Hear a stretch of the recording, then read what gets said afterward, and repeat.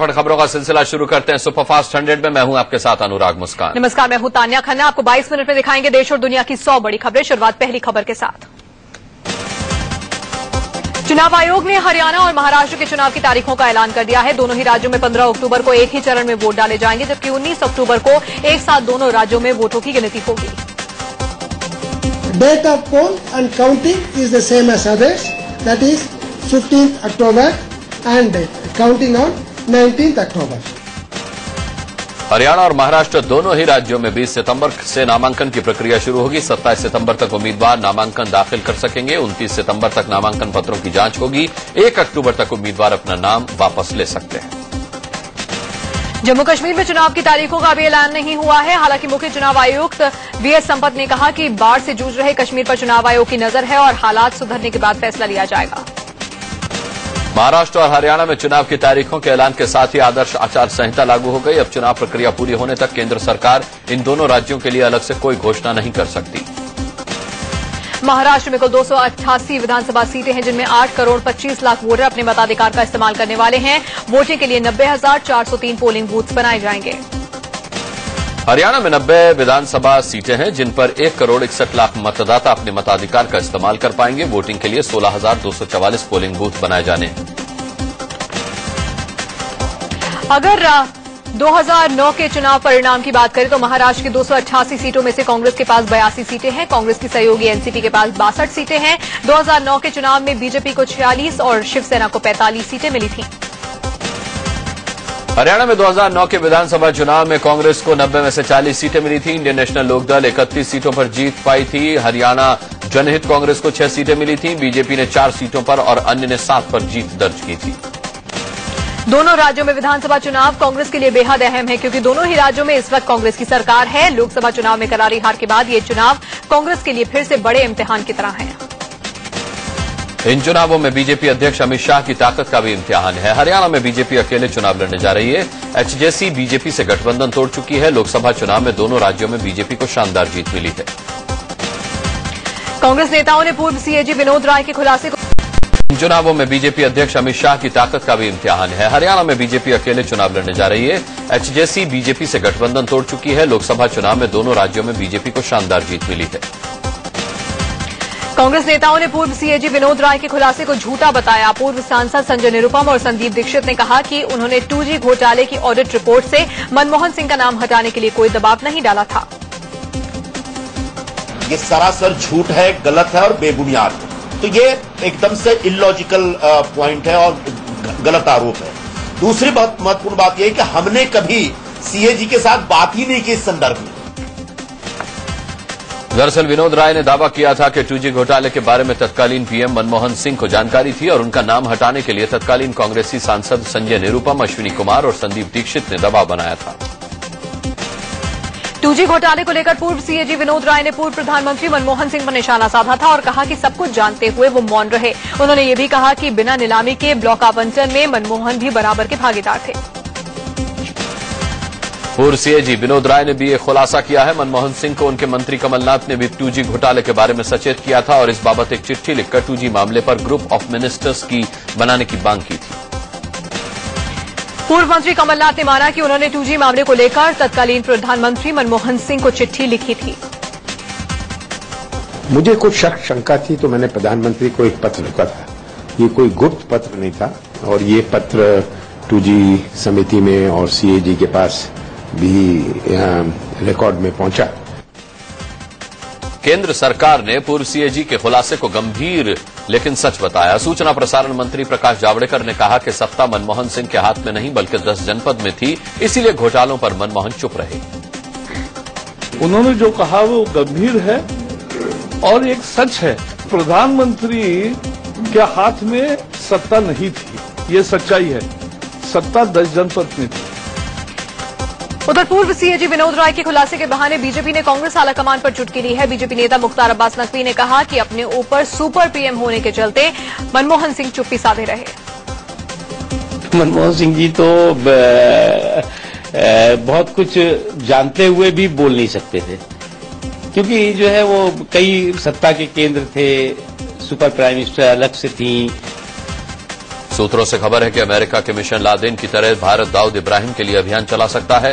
सूत्रों के मुताबिक राष्ट्रीय सुरक्षा सलाहकार अजीत डोभाल इस पर काम कर रहे हैं, जिस पर पीएम और गृह मंत्री भी नज़र बनाए हुए। अमेरिका ने अलकायदा सरगना ओसामा बिन लादेन को पाकिस्तान के एबटाबाद में मार गिराया था। सूत्रों से खबर है कि भारत भी दाऊद इब्राहिम के लिए एबटाबाद जैसा मिशन चलाने पर विचार कर रहा है। सूत्रों से खबर है कि खुफिया एजेंसी रॉ के पास पाकिस्तान में दाऊद इब्राहिम के एक एक मूवमेंट की जानकारी है। फ़िलहाल दाऊद के पाकिस्तान, अफगान सीमा के आसपास होने की खबर है। पाक में दाऊद की कई मुलाकातों का वीडियो भी रॉ के पास है। दाऊद इब्राहिम को लेकर भारतीय सुरक्षा एजेंसियाँ, अमेरिकी खुफिया एजेंसी, एफबीआई से लगातार संपर्क में है। एफबीआई पाकिस्तानी खुफिया एजेंसी से उन अफसरों पर भी नज़र रखे हुए है जो कि दाऊद को संरक्षण दे रहे हैं। उधर गृह मंत्री राजनाथ सिंह ने भी संकेत दिया है कि दाऊद इब्राहिम को पकड़ना सरकार की प्राथमिकता में है। दाऊद को भारत लाने पर सवाल पर राजनाथ ने कहा कि इंतज़ार कीजिए। दाऊद इब्राहिम को कब आप लोग भारत लाएँगे? क्या सौ दिनों के भीतर सरकार की तरफ़ से कुछ प्रयास किया गया इस बारे में? बस मित्रों इतना ही कहना चाहूँगा उस संबंध में कि प्रतीक्षा कीजिए। अकले अक, अक, अक, अकलेमंद इशारा काफ़ी। पीएम के से संबंधों को लेकर पूछे गए सवाल पर गृह मंत्री राजनाथ सिंह ने कहा कि संबंध पहले भी मधुर थे अब भी हैं और आगे भी रहेंगे।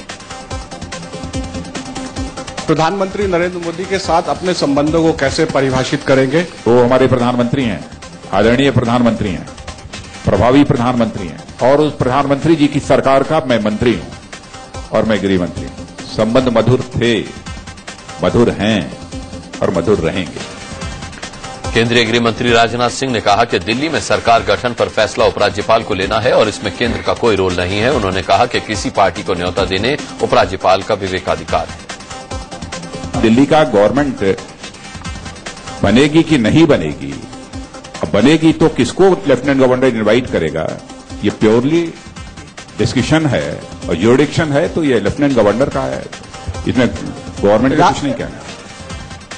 सौ दिनों के कामकाज पर गृह मंत्री राजनाथ सिंह ने कहा कि उनके मंत्रालय का काम 2020 क्रिकेट मैच की तरह नहीं, बल्कि टेस्ट मैच की तरह है, जहाँ सिर्फ़ चौके छक्के नहीं लगाए जाते, बल्कि पारी जमानी होती है। गृह मंत्रालय 2020 या वनडे मैच की तरह नहीं है, बल्कि यह टेस्ट मैच की तरह है। यहाँ आपको चौके छक्के मारने के बजाय पारी जमानी पड़ती है। गृह मंत्री राजनाथ सिंह ने नक्सलवाद एक बड़ी समस्या माना और कहा कि अगर नक्सली हिंसा का रास्ता छोड़ दें तो वार्ता मुमकिन है। राजनाथ ने यह भी कहा कि इस साल 132 नक्सलियों ने सरेंडर किया है। बीजेपी के कई नेता लव जिहाद को मुद्दा बनाते हैं, लेकिन इस बारे में पूछे गए सवाल पर केंद्रीय गृहमंत्री राजनाथ सिंह ने कन्नी काटी। उन्होंने खुद ही पूछ लिया कि लव जिहाद की परिभाषा क्या है। लव जिहाद की आजकल बहुत चर्चा है। आपको क्या लगता है कितनी बड़ी समस्या है देश में या इसको बढ़ा चढ़ा के बताया जा रहा है? आपको क्या लगता है? यह है क्या? नहीं नहीं ये है क्या? पहले मुझे इसकी डेफिनेशन समझना पड़े। मुस्लिम धर्मगुरु कलवे सादिक के विरोध के बाद संभल के शहर मुफ्ती कारी अलाउद्दीन ने भी लव जिहाद के खिलाफ फतवा जारी कर दिया। उन्होंने कहा कि कोई मुस्लिम खुद को हिंदू बताकर शादी करेगा तो इस्लाम इसे स्वीकार नहीं करेगा। झारखंड की शूटर ताराशाह देव के धर्म परिवर्तन के मामले में रांची पुलिस ने झारखंड के तीन न्यायिक अधिकारियों से घंटों पूछताछ की। पुलिस के मुताबिक तीनों अधिकारियों ने रकीबुल से संबंध की बात कबूल कर ली है। सुप्रीम कोर्ट ने जम्मू कश्मीर की त्रासदी पर चिंता ज़ाहिर करते हुए इसे बेहद गंभीर मसला बताया। कोर्ट ने कहा कि लाखों लोग ऐसे हालात में हैं जहाँ उन्हें खाना, पीना और स्वास्थ्य संबंधी सुविधाएँ नहीं मिल पा रही हैं। उन्हें फ़ौरन बेसिक सुविधाएँ मुहैया कराई जानी चाहिए। प्रधानमंत्री नरेंद्र मोदी ने जम्मू कश्मीर के बाढ़ पीड़ितों की मदद के लिए लोगों से पीएम नेशनल रिलीफ फंड में दान देने की अपील की है। पीएमओ के सभी कर्मचारी पहले ही अपने एक दिन की सैलरी दान कर चुके हैं। केंद्रीय गृह मंत्री राजनाथ सिंह ने कहा कि पिछली एक सदी में ऐसी तबाही जम्मू कश्मीर में कभी नहीं आई और ये एक राष्ट्रीय आपदा जैसी तबाही है। उन्होंने कहा कि अब तक एक लाख तीस हज़ार लोगों का रेस्क्यू किया गया है। यह एक प्रकार की राष्ट्रीय आपदा है। सभी जानते हैं कि विगत 109 वर्षों में ऐसी प्राकृतिक आपदा जम्मू कश्मीर में कभी नहीं आई थी जैसी कि इस बार आई है। एक लाख तीस हज़ार से अधिक लोगों को रेस्क्यू किया जा चुका किया जा चुका है। राहत टीम के साथ मारपीट के पीछे अलगाववादियों के हाथ होने की खबरों को लेकर इंडिया न्यूज़ से के सवाल पर राजनाथ सिंह ने कहा कि फ़िलहाल हमारा ध्यान सिर्फ़ बाढ़ पीड़ितों को राहत पहुँचाने को लेकर है। गृहमंत्री जी राकेश सिंह इंडिया न्यूज़ से। कहाँ है राकेश सिंह जी? जी। हाँ बोलिए।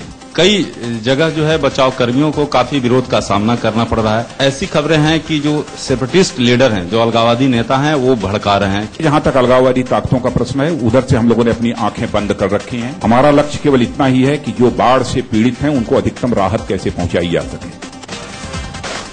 जम्मू कश्मीर में बाढ़ के पानी का स्तर घटने से राहत और बचाव के काम में तेज़ी आ गई है। पाँच से छह लाख लोग अभी भी घाटी के अलग अलग इलाकों में फंसे हुए हैं। मरने वालों का आंकड़ा 200 के पार पहुँच चुका है।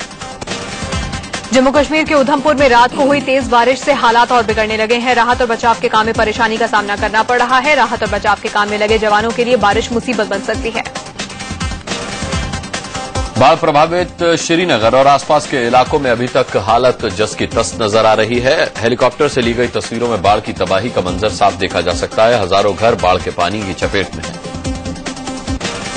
प्रधानमंत्री के निर्देश के बाद जम्मू पहुँचे केंद्रीय मंत्री जितेंद्र सिंह ने श्रीनगर में नाव पर बैठकर बाढ़ प्रभावित इलाकों का जायजा लिया। उन्होंने बाढ़ के पानी में डूबी इमारतों को देखा, साथ ही मौजूद जवानों से इलाके के बारे में जानकारी भी ली। जितेंद्र सिंह बाढ़ पीड़ितों से भी मिले। उनसे हालात की जानकारी ली और हालचाल पूछा। स्थानीय लोगों ने जितेंद्र सिंह को सैलाब से आए संकट से बचाने की गुहार लगाई। सेना के जवानों में राहत और बचाव के काम में पूरी ताकत झोंक दी है। जवान बाढ़ प्रभावित इलाकों से लोगों को निकालकर नावों के ज़रिए सुरक्षित जगहों पर पहुँचा रहे हैं। उधमपुर में सेना की ज़्यादातर यूनिट्स में बाढ़ पीड़ितों के लिए खाना बनाया जा रहा है। सेना के जवान दिन रात एक करके लोगों तक खाना पहुँचा रहे हैं। इंडिया न्यूज़ ने सेना के कुक हाउस का जायजा लिया। बाढ़ से प्रभावित जम्मू में हालात सुधरने के बाद स्कूल खोल दिए गए हैं। कई इलाकों में स्कूल खुले हैं लेकिन अभी भी लोगों में दहशत का माहौल है। हरियाणा सरकार ने जम्मू कश्मीर में बाढ़ पीड़ितों के लिए पचास हज़ार क्विंटल राहत सामग्री भेजी है। राहत सामग्री से भरे ट्रकों को दिल्ली से जम्मू कश्मीर के लिए रवाना किया गया। इनमें राशन के साथ साथ दवाइयाँ भी भेजी गई हैं। बिहार के दरभंगा से वैष्णो देवी दर्शन करने के लिए गए 18 तीर्थयात्री यहाँ की बाढ़ में फंस गए। इनमें एक ही परिवार के 10 लोग भी शामिल हैं। 4 सितंबर से ये तीर्थयात्री लापता है। परिजनों का इनसे संपर्क नहीं हो पा रहा। कश्मीर में पाँच दिन तक बाढ़ के बीच फंसे अग्रवाल परिवार के छह सदस्य मुंबई सुरक्षित लौट आए। मुंबई एयरपोर्ट पर परिजनों ने मिठाई खिलाकर अपनों का स्वागत किया।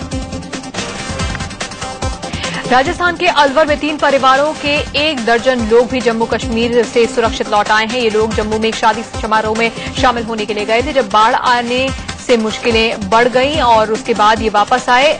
जैसे तैसे इन्होंने अपनी वहाँ पे जान बचाई। श्रीनगर में एनआईटी से बीटेक कर रहे अक्षय का हॉस्टल बाढ़ के पानी से गिर गया, जहाँ से वो कड़ी जद्दोजहद से जान बचाकर अपने शहर शामली लौट आए हैं। अक्षय के सुरक्षित लौटने से उनके परिवार में खुशी का माहौल। गुजरात के भरूच में ढाडर नदी के उफान से कई इलाके बाढ़ की चपेट में आ गए हैं। बाढ़ के हालात देखते हुए प्रशासन ने नदी और आसपास के इलाकों से 250 से ज़्यादा लोगों को सुरक्षित जगहों पर पहुँचाया है। गुजरात के वडोदरा में सड़क पर बाढ़ के पानी के साथ मगरमच्छ आने से हड़कंप मच गया। करीब साढ़े चार मीटर लंबा मगरमच्छ पानी में तैर रहा था, जिसे देखकर लोगों में दहशत फैल गई। मगरमच्छ को देखने के लिए सड़क के किनारे लोगों की भीड़ लग गई। सूचना पाकर वन विभाग की टीम मौके पर पहुँची और करीब आधे घंटे की मशक्कत के बाद मगरमच्छ पर काबू पा लिया गया, जिसके बाद लोगों ने राहत की सांस ली। राजस्थान के उदयपुर में भारी बारिश के बाद हुए भूस्खलन से सड़क जगह जगह कई फीट तक नीचे धस गई है। सड़क के धसने से गाड़ियों की आवाजाही ठप हो गई, जिससे लोगों को परेशानी हुई। कानपुर में हो रही भारी बारिश के चलते कानपुर दिल्ली नेशनल हाईवे पर बने पुल का एक बड़ा, में एक बड़ा गड्ढा हो गया है। 20 फुट चौड़ा ये गड्ढा बारिश के चलते बड़ा होता जा रहा है। इलाहाबाद में बेखौफ बदमाशों ने एक नामी अस्पताल पर बम से हमला कर दिया, जिसकी तस्वीरें सीसीटीवी में कैद हो गई। बम के हमले में एक महिला बाल बाल बच गई। दो बदमाश बाइक पर सवार होकर आए। पीछे बैठे बदमाश ने एक के बाद एक दो बम अस्पताल पर फेंके। बमों के हमले से अस्पताल के शीशे बिखर गए और लोगों में अफरा तफरी मच गई। राजस्थान के नागौर में पुलिस का बर्बर चेहरा देखने को मिला है और उसके मौके पर पुलिस ने तांगा दौड़ के साथ चलने वाली बाइक और जीप पर सवार लड़कों पर जमकर लाठियाँ भाजी। पुलिस ने लड़कों को दौड़ा दौड़ा कर पीटा। पुलिस का ऐसा चेहरा देखकर यहाँ पर मौजूद लोग हैरान थे क्योंकि ये पहली बार हो रहा था कि टांगा दौड़ के साथ बाइक और जीप सवार लड़कों पर इस तरह लाठियाँ बरसाई गईं। कांग्रेस और एनसीपी की मदद से एमएनएस ने नासिक में मेयर का चुनाव जीत लिया है। एमएनएस उम्मीदवार अशोक मुर्तादक को 122 में से 75 वोट मिले। कांग्रेस और एनसीपी के पार्षदों ने एमएनएस के पक्ष में वोट दिया। दिल्ली यूनिवर्सिटी में छात्र संघ चुनाव के लिए वोट डाले गए। पिछली बार की तरह इस चुनाव में भी मुख्य मुकाबला एबीवीपी और एनएसयूआई के बीच है। चुनाव के नतीजे शनिवार को आएँगे। डीयू के साथ साथ जवाहरलाल नेहरू यूनिवर्सिटी में भी छात्र संघ चुनाव के लिए वोट डाले गए। यहाँ मुख्य मुकाबला लेफ़्ट पार्टियों के अलग अलग छात्र संघ आयसा और एसएफआई के बीच है।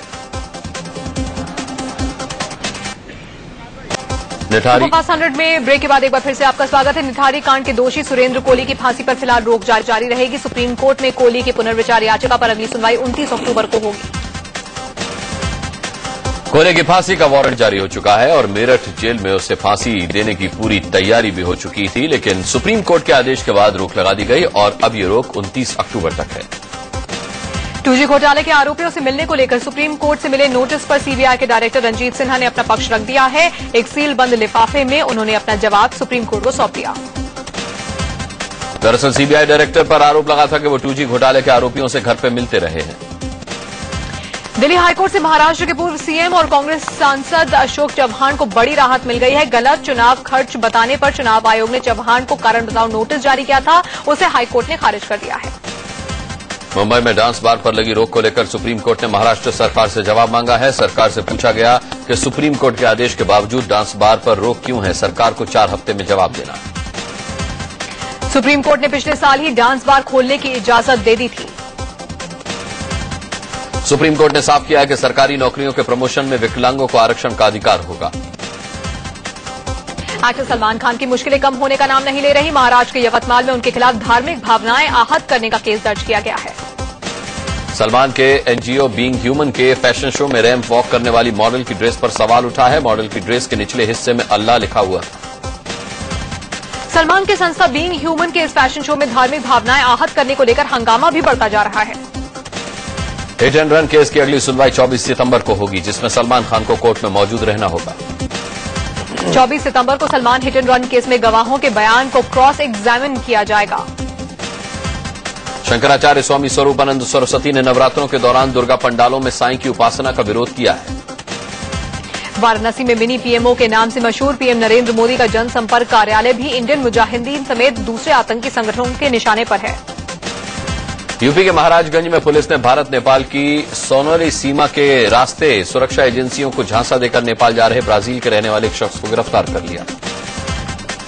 झारखंड के नक्सली नेता कुंदन पाहन के गैंग में पाँच साल तक रही एक नाबालिग लड़की ने पुलिस के सामने सरेंडर किया। भारतीय नौसेना को पांचवा पी एट आई टोही विमान मिल गया है जिसे तमिलनाडु के अराकोणम स्थित नौसेना के रजाली हवाई अड्डे पर तैनात किया गया। भारत ने अमेरिकी विमान निर्माता कंपनी बोइंग के ऐसे आठ विमान बनाने का उन्हें ठेका दिया है। सरकार ने एचएमटी घड़ियों का उत्पादन बंद करने का फैसला किया है। 1961 में जापानी कंपनी सिटीजन वॉच की मदद से एचएमटी कंपनी को खड़ा किया गया था। यूपी के फतेहपुर में बीजेपी सांसद साध्वी निरंजन ज्योति की गाड़ी बेकाबू होकर पेड़ से टकरा गई। मुंबई सटे थाने के मीरा रोड स्टेशन के पास भी हादसे की हैरान करने वाली तस्वीरें सामने आई। मीरा रोड स्टेशन के पास बुधवार देर रात यह हादसा हुआ जिसकी तस्वीरें सीसीटीवी में कैद हो गईं। बताया जाता है कि कार काफ़ी रफ्तार में थी और बेकाबू होकर शोरूम के शटर से जा भिड़ी। आगरा के कमला नगर इलाके में उस वक्त अफरा तफरी मच गई जब कपड़े के एक गोदाम में भीषण आग लग गई आग की चपेट में आने से लाखों का सामान जबकर राख हो गया। छत्तीसगढ़ में हुए एक हादसे में कांग्रेस नेता अजीत जोगी बाल बाल बचे। उनका जो मंच था वो भरभराकर गिर गया। दरअसल एक पावर प्लांट के बाहर छत्तीसगढ़ के पूर्व सीएम अजीत जोगी अपने समर्थकों के साथ धरने पर बैठे थे। दिल्ली में रोहिणी के सेक्टर पाँच में डबल मर्डर से हड़का मच गया है। यूपी के बिजनौर में एक शख्स की पेड़ से लटकी लाश मिलने से सनसनी फैल गई। यूपी के बुलंदशहर में दिन दहाड़े ज्वेलरी के शोरूम में हुई डकैती की सीसीटीवी तस्वीरें सामने आई हैं। इन लुटेरों में एक खाकी वर्दी पहना हुआ भी दिखाई दे रहा है। करोड़ों की इस डकैती को सात लुटेरों ने मिलकर अंजाम दिया। अजमेर में एसपी ऑफ़िस के सामने एक महिला ने अपने बच्चे के साथ खुद पर पेट्रोल डालकर आग लगाने की कोशिश की। दिल्ली के हैबिटेट सेंटर में दिल्ली महिला आयोग ने महिला सुरक्षा पर एक सेमिनार आयोजित किया। इस मौके पर इंडिया न्यूज़ के editor in chief Deepak Chaurasia Madhur Bhandarkar और Delhi police commissioner BS Bassi ने महिलाओं की सुरक्षा पर ज़ोर दिया।